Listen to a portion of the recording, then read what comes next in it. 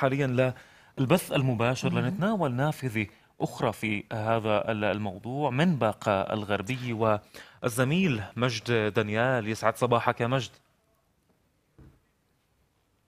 صباح الخير لك أمير ولعفاف ولضيوفكم الكرام وجميع المشاهدين.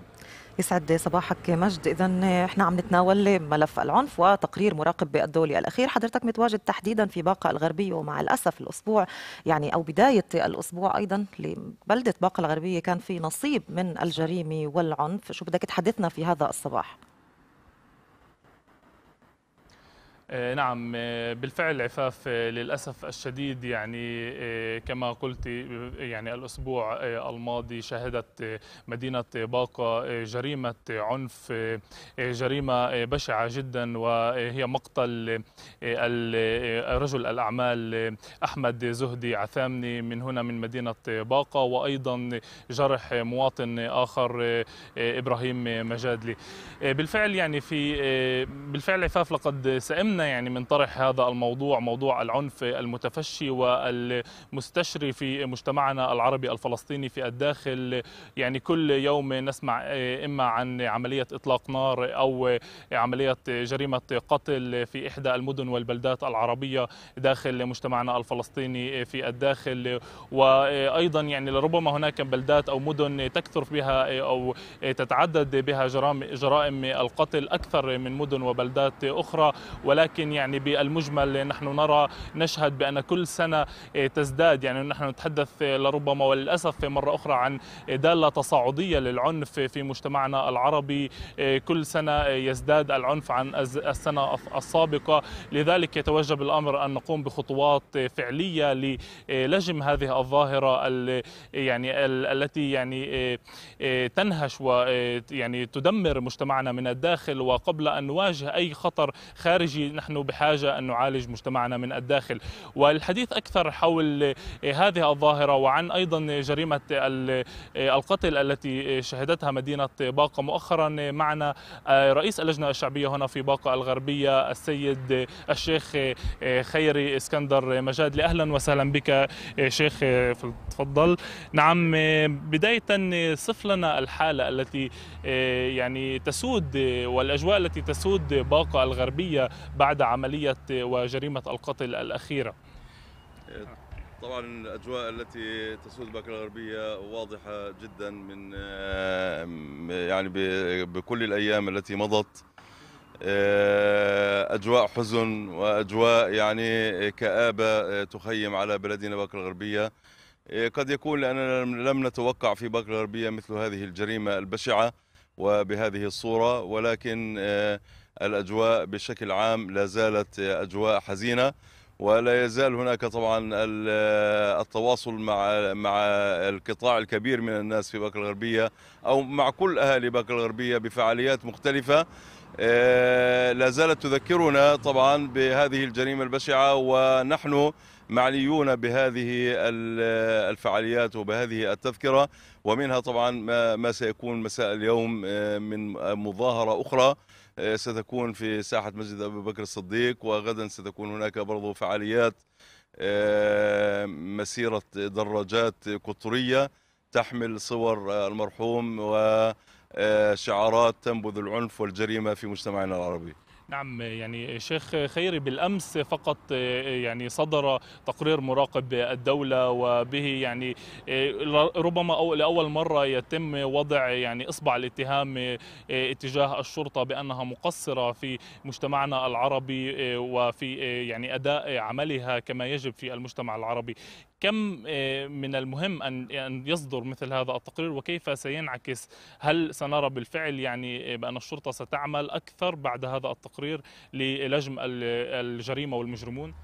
في الحقيقة نحن آه، في المجتمع العربي لا نثق بتاتا بجهاز الشرطة مع الأسف الشديد ونحن وضحنا هذا الأمر في جلسة كانت البارحة مع قائد شرطة باكر الغربية ومساعديه ووضحنا أننا يعني مع الأسف الشديد لا نثق بجهاز الشرطة أبدا وخصوصا طبعا وهذا لا, لا, لا نقوله جزافا ولا نتهم أحدا آه، من غير دليل وهذا الكلام يعني نأخذه من أفواههم. حتى رئيس حكومة إسرائيل آه، بيبي نتنياهو قال بصريح العبارة أن الشرطة تعمل في الوسط اليهودي بمكيال وبالوسط العربي بمكيال آخر مختلف تماما. قد قصد يجوز أنه قصد آه، يعني الجانب السلبي ولكننا نحن نقول له فعلا الشرطة تعمل آه، تكيل بمكيالين ومكيالها في الوسط العربي هو استهتار آه، بحياة الناس واستخفاف آه، بدمائهم.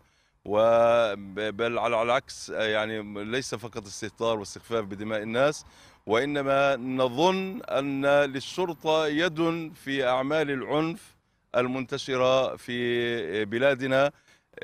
من شمالها إلى جنوبها. نعم يعني ولكن أيضا ادعاء الشرطة وأيضا الحكومة هم دائما يلومون أيضا المجتمع العربي بأنه لا يساهم إن كان في ال- يعني ال- التجند لصفوف الشرطة وأيضا المساهمة في إعطاء الدلائل ويعني ال- البوح عن المجرمون وعن أماكن تواجد السلاح داخل مجتمعنا وداخل البيوت. فكيف ترى هذا الاتهام؟ أنا أقول هذا الاتهام ليس له أساس من الصحة. آه، الشرطة هي المتهمة بكل هذه الأمور وليس العرب في هذه البلاد. أنا أستطيع أن أقول لك يعني عندي دلائل وعندي آه، عدة آه، أحداث قد ندلل فيها على أن الوسط العربي غير صحيح أنه لا يتعامل مع الشرطة ولا ولا يشاركها عندما تكون في جريمة معينة. وبالأمس آه، مثلا آه، يعني كان هناك حتى أعضاء بلدية من أعضاء البلدية. وكان وأنا عندي برضو مثال لرئيس بلد آه، في الوسط العربي الذي كان يعني يطالب الشرطة ويقول لهم هذا من هددني ويحمل السلاح ويريد آه، يقتلني ويتعدى علي. ويعني يعتقلونه لمدة ساعة أو ساعتين ثم يراه في اليوم التالي حرا طليقا ومع سلاحه أيضا. يعني هناك يعني هذه الاتهامات ليس لها أساس من الصحة. يعني هذا يعني عذر أكبح من ذنب. الشرطة يجب أن تكون بدورها في وسطنا العربي وإن لم تكن بدورها فنحن من يجب أن يقوم بهذا الدور. ونعتمد على أنفسنا. نعم بالفعل. وهنا أيضا يطرح السؤال عن آه، عمليا آه، دائما نحن نتحدث عن آه، الشرطة ودورها ولكن أيضا هناك يعني هناك مسؤولية تقع على علينا نحن كمجتمع عربي في أيضا أن نلجم ال- الجريمة داخلنا ان نلجم المج- المجرمون داخل المجرمين داخل مجتمعنا. فلماذا هنا أيضا السؤال لماذا تزداد يعني كل سنة نرى ازدياد في آه، عدد حوادث القتل وحوادث إطلاق النار آه، داخل مجتمعنا العربي. كيف يمكن لنا نحن كمجتمع أن نقلل من هذه الحوادث؟ طبعا تتفق معي أن يعني 90% من المجتمع العربي ليسوا إرهابيين ولا ولا يتعاملون بالعنف ولا ثقافة العنف ولا يقتلون ولا يريدون أن يكون كذلك بل يريدون أن يعيشوا بسلام وأمان. أكثر من 90% من مجتمعنا العربي وإذا تبقى 5% أو 6 أو 7 أو 10% فهذه النسبة القليلة إيه، لا يجب أن نحكم على المجتمع العربي من خلالها. ولكن يعني يجب أن نعلم أن هذه النسبة هي منا هي من المجتمع العربي. نحن المقتول منا والقاتل منا مع الأسف الشديد ونحن يعني يجب أن نكثف جهودنا حتى آه، نحيد هذه النسبة من مجتمعنا.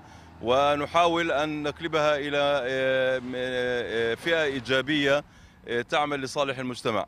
ولكن يعني كما نعلم وكما نعرف آه، بتاريخ الإنسانية واستقراء التاريخ آه، والواقع يقول كذلك أن الحق والقيم والمثل وال كل هذا آه، ال- ال- الأمور الإيجابية بحاجة إلى قوة أيضا بحاجة إلى قوة إلى فرضها.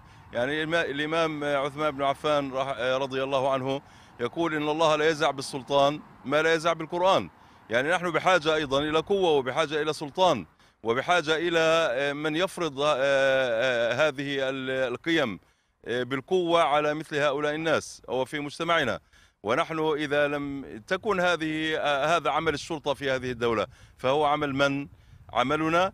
أعطونا إذن المجال لننظم أنفسنا وتكون عندنا شرطة ويكون عندنا آه، آه، رجال يطبقون القانون ويحمون مجتمعهم ونحن نستطيع أن نفعل ذلك. نعم أريد أن أشكرك جزيل الشكر الشيخ خيري إسكندر مجادلي رئيس اللجنة الشعبية هنا في باقة الغربية. شكرا جزيلا لك ولربما هذه الصرخة تسمع يعني وتكون مدوية وتصل إلى الآذان والأماكن يعني أماكن أصحاب القرار. شكرا جزيلا لك. آه، نعم. اذا يعني عفاف وأمير كانت هذه المداخلة من هنا من مدينة باقة. تحدثنا عن الجريمة الأخيرة التي حدثت وعن العنف المستشري في مجتمعنا العربي بشكل عام. إليكما أمير وعفاف. شكرا مجد وشكرا لضيفك الشيخ خيري اسكندر مجادلي على هاي المداخلة.